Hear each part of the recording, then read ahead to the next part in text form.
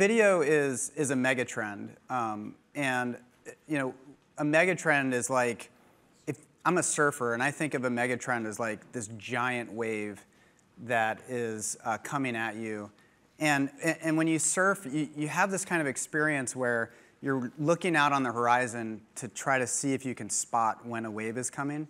And, and when you see something way out in the distance that you know is going to not just be a wave, but is going to be a big one, you get really excited because that's your opportunity to, you know, potentially, if it, if it works out, really um, experience the thrill of riding a big wave. And, and, you know, the internet was a mega trend in the 90s.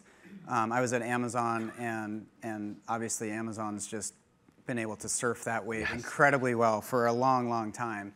Um, I joined Facebook in 2006, and a couple years into that, we had a mega trend in mobile uh, and smartphones.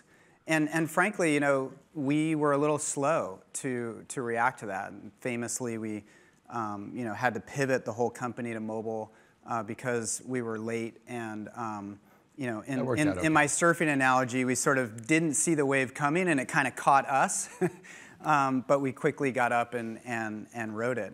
Um, and so a couple years ago, we sort of spotted video as, as, a, as a mega trend. We thought this is the next big wave. Uh, and to your credit, again, Ben, like you saw this even before we did with um, Thrillist and NowThis and, and, and the Dodo, um, and, and, really you know, built a whole company around it. But we've basically spent the last few years really trying to embrace this, this new um, this new trend. And it's about the uh, you know, ability for the first time for everybody who has a smartphone to watch video.